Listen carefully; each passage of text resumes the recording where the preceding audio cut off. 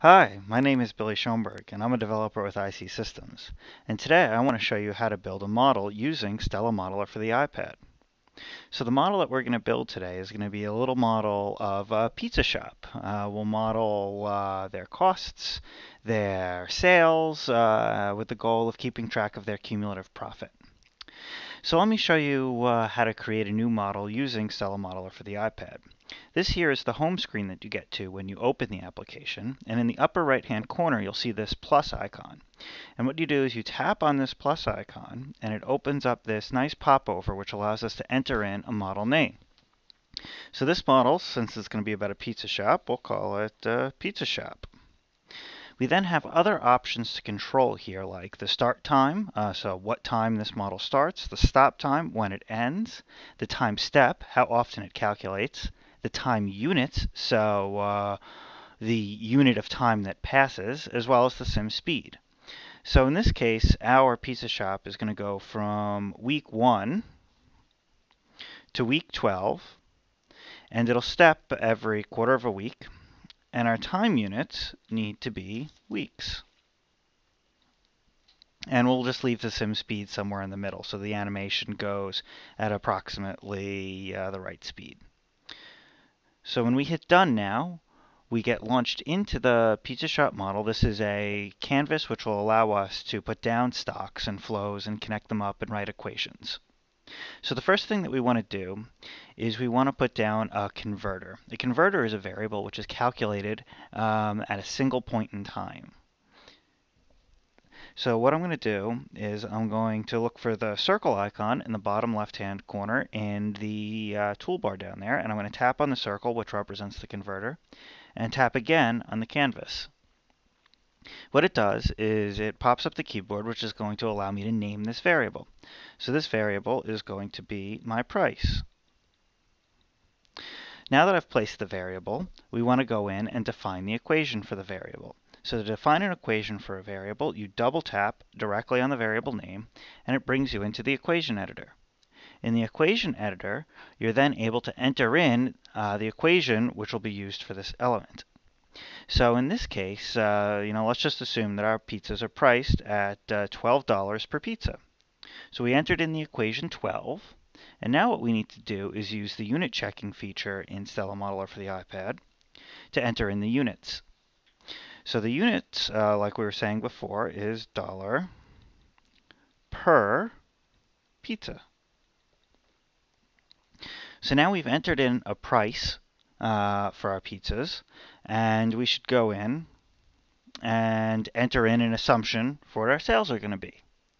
So again, we tap the converter icon in the lower left-hand portion of the screen, tap again on uh, the canvas, giving uh, ourselves a new uh, variable, and we'll call this one sales. So again, now when uh, we've created sales, we see that we have this warning symbol in it. Uh, this warning symbol means that we haven't yet entered an equation or that the equation that we have entered is invalid. So let's go ahead and define our sales. So for the moment, uh, so that we can get to a running model real quick, let's just assume that our sales are constant. Let's assume that uh, you know we sell 100 pizzas per week. So we enter in 100 for the equation, and in the units, pizza per week. So now that we've finished entering in our equation for sales, let's go back and look at our model, and you'll see that the warning symbol has disappeared. And so let's now calculate uh, what our revenue would be in this scenario. So again, we choose another converter from the bottom left by tapping on the circle and tapping again on the canvas. And this time we'll name the variable revenue. And so now here um, we have a warning symbol, but in order to calculate revenue, we need to multiply price by sales. In order to multiply two variables together, what you need to do is you need to draw a connector between the variable that's going to be the input and the variable that's going to use the value. So I've tapped the connector tool in the toolbar on the bottom right hand, left hand portion of the screen and I'm going to uh, press and hold on price, dragging my finger towards revenue and releasing my finger when it's above revenue. And so now what that's done is that's hooked the price variable to the revenue variable, which is going to allow me to use price in the equation for revenue. So let's create another connector now from sales to revenue. I tap the connector icon in the lower left-hand portion of the screen. I press on sales, dragging, keeping my finger down the entire time to the arrow is over revenue, and releasing. So now what we can do is we can double tap on revenue to open up the equation editor, and you'll see that we have two required inputs, price and sales. So let's multiply price times sales, which gives us our revenue. Now in this case, we know our revenue is going to be uh, dollars per week, but uh, rather than having to type in dollars per week, because we've entered in the units for the inputs, we can use this nifty suggest button in the center of our screen to suggest for us what the software thinks the units ought to be. So when I tap on the suggest button, it comes up with for me for the appropriate unit uh, for this equation, dollars per week. So now we've set up our price, our sales, and our revenue, and we're at a point where we can run this model. It's always good when building models to keep uh, your additions small and quick so that you can quickly iterate on your model. What you really want to try and do is make sure you're never five minutes away from a running model. So let's go ahead and run this model real quick and make sure that everything checks out. So to do that, we tap the Simulate button in the upper right-hand portion of the screen, and we tap again on the Run button in the lower uh, left-hand portion of the screen. This runs the model for us, and we can see that our price, our sales, and our revenue are all constant, which makes sense. Our price is a constant, our sales is a constant. We're multiplying the two of them together to get a constant. When we zoom in by pinching outwards, we can see that revenue is flat at 120, uh, no, $1,200 per week, which is 100 times 12. So let's zoom out now and tap again on uh, the Edit button in the upper right-hand portion of the screen to continue building our model. So we've put together now the revenue portion of this model. So let's now go ahead and put together the cost portion of this same model. So what I need to do is I need to move this model structure from the top of the screen a little bit lower so that I can make room to add in the costs. So what I'm going to do is I'm going to select all of this structure and then drag it as a group down to the bottom of the screen. So to do that, I tap and hold on the canvas with a, single finger, and then I move my finger across the screen, that, which gives me this gray selection box, and I release, selecting all of the elements underneath the box. Next, I put my finger down on one of the symbols, and I drag all of the elements towards the bottom of the screen. And so that's how you do a multi-select and drag. Next, what we want to do, uh, you know, the reason why we moved all of these elements was to create the cost structure. So let's start out with our fixed costs, like our rent. Let's create another converter, and we'll put it down, and we'll label it fixed costs. We want to then double tap on fixed costs to enter an equation. So our fixed costs are going to be $500 per week. That's going to be, you know, what we assume our rent to be each week. So into the units box, again, we need to enter in the unit, dollar per week. So you'll keep uh, noticing that I keep saying, oh, you know, the units are dollars per week, uh, and we enter then dollar per week. It's important uh, when using the unit engine at this point that you keep the plurality of your units consistent. So dollars and dollars at the moment will be recognized separately. So I like to enter my units always in the singular form. It means I never get confused as to whether it should be dollars or dollar. So now let's go back to the model and let's start adding in uh, our variable costs. So in order for us to calculate our variable costs, what we need to do is we need to know uh, what the cost of a pizza is. You know, what does it cost us to make that pizza? So let's put down a converter and enter in an assumption. So I've tapped to create the converter, and uh, let's call this one cost of a pizza. And I've uh, mistakenly uh, spelled pizza here. So what I need to do is I need to edit this name and fix my mistake. To do that, I want to press and hold on the name till the editor pops back up. And then what I can do is I can tap within the editor to get a cursor.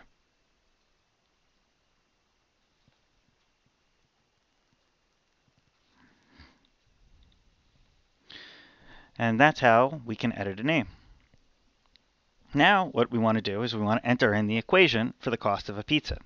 So let's double tap on cost of a pizza and let's enter in, let's just assume it costs us $3.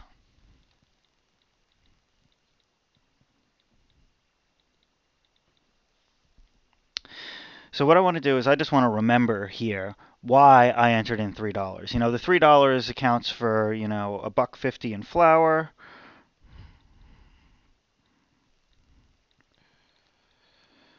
and a buck 50 in cheese.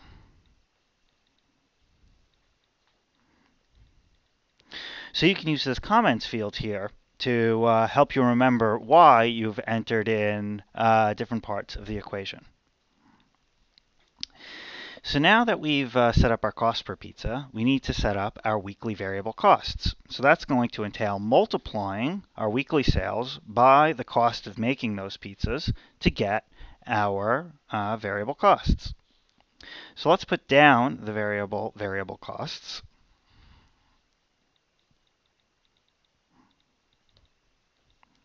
And let's set up that relationship. So we need to connect cost of a pizza to variable costs, as well as sales to variable costs. So what I'm doing is I'm moving sales towards variable costs because I want it to be a little bit closer. But you'll notice that when I move variables like this, the connector knob stays in the same position. So what we want to do is we want to move the knob so that we maintain a straight relationship between sales and revenue.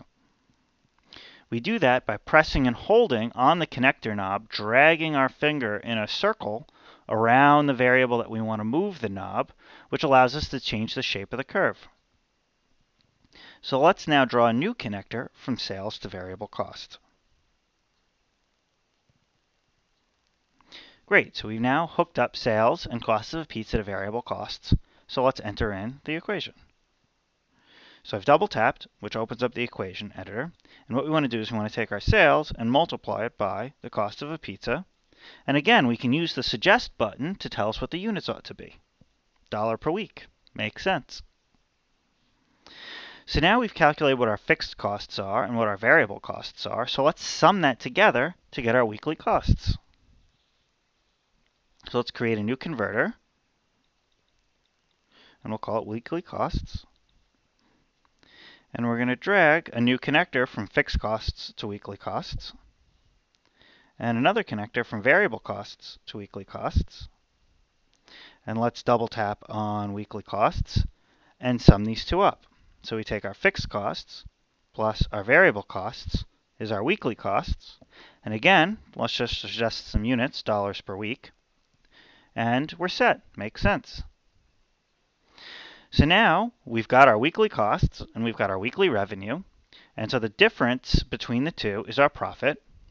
And then we want to keep track of what our cumulative profit is. So when you want to keep track of something over time, the appropriate element to use is a stock. A stock is an integral. It uh, continuously adds values together over time. Then the only thing, though, that can change the state of stocks are flows. Flows change uh, the state of the stock at the end of each time step. So in this case, our weekly profit is going to be a flow into the stock of cumulative profit. So let's start by creating the stock for cumulative profit. To do that, I tap and hold uh, on the uh, box icon on the lower left-hand portion of the screen. And I tap again on the canvas, which puts down a stock element. A stock is always represented in the System Dynamics uh, methodology as a rectangle. And so we're going to name this stock cumulative. And then we can also put returns in names, which is nice. Profit. So in this case, uh, you know, if we didn't want the name on the top of our stock, let's say we wanted it in the middle of our stock, what we can do is we can grab the name with our finger, just uh, press and hold, and drag it into the center of the stock. So press, drag inside the stock. So it's obscured at the moment by the warning symbol because we haven't yet entered in the equation for the stock. So let's go ahead, create the flow, and enter in the equations. So you create a flow by using uh, the second tool from the right on the bottom left-hand corner of the screen, the flow. You tap, you press on the screen, keeping your finger down the entire time, moving your finger towards the stock, and when the cloud is over the stock, release. By releasing any flow cloud over a stock, the flow will automatically connect to the stock. So here now it's prompting us to name this flow. Let's call this flow weekly profit. So now we have an undefined flow and an undefined stock. So let's go and start defining some of these equations. Let's double tap on cumulative profit to define its equation. And here it's asking for something slightly different than an equation. It's asking for an initial equation. Since, like we described before, stocks calculate over time, what you need to do is you need to initialize a stock with a value. So when you initialize a stock, you're able to initialize it using any variable in your model or a constant. So in this case, we're going to initialize our cumulative profit with a constant 0. We have none to begin with. And then we need to enter in some units. In this case, our cumulative uh, profit is measured in dollars. So now we're going to go back to the model. We can see the warning symbol's gone away. And we need to draw some connectors between our weekly profit and our weekly costs. So let's take our weekly costs and drag it towards profit and our revenue and drag it into profit. Double tapping on the weekly profit and entering in an equation. So you'll see here that the units are automatically prepared for us because the stock is able to tell the flow what its units ought to be. Since stocks um, can only be modified by flows, stocks aren't measured in a per time way. They're measured as absolute amounts. Whereas flows must be per time because they change the stock per each unit of time. So let's add our revenue uh, no, we don't want to add revenue to weekly costs. We want to actually, from our revenue, take away our weekly costs to come up with what our profit's supposed to be. So let's check and make sure that we've got the units right here. So when we hit check, it says uh, success. Units are consistent with the equation. So let's go back.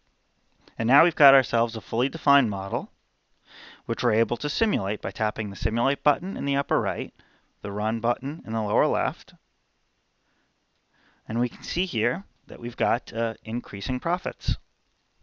If we zoom in by pinching outwards, we can see, but it's kind of muddied by uh, the label that we've put on top of the stock, the graph. So something I like to do in this kind of a case is actually use the ghost tool to create a new version of the variable so that I can more clearly see the graph. So I'm going to use the ghost, which is going to create kind of like a shadow copy of the variable.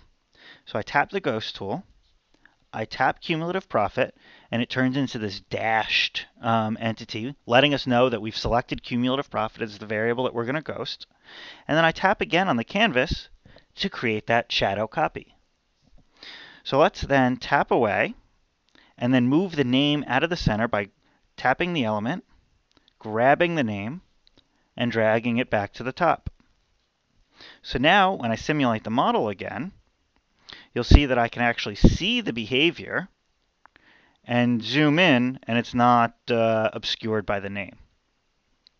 We can also look at results by tapping on any entity and it'll bring up this nice overview, overview graph which gives us more detail. We can then get further detail by pressing our finger and sliding it across the graph to see values at specific points in time. So we can see here that we've built a pretty successful pizza shop. Obviously, we're missing a little bit of feedback here. Not quite uh, the most realistic model. But hopefully now you understand how to use Stella Modeler to build models on the iPad.